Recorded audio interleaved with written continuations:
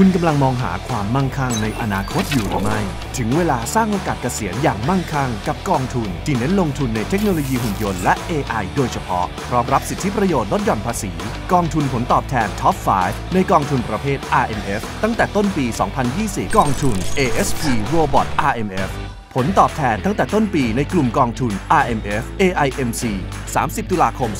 2563 ดูผลการดำเนินงานในอดีตในช่วงท้าย